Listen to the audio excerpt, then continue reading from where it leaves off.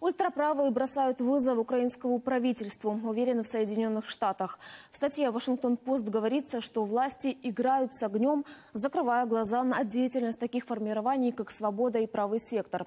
И они, цитирую, уже не стесняются использовать насилие, чтобы добиваться своих целей, которые противоречат той ориентированной на Запад демократии, к которой стремится Киев. И хотя крайне правые партии пользуются поддержкой немногих украинцев, само их существование, пишет издание, подрывает авторитет Украины в глазах Европы.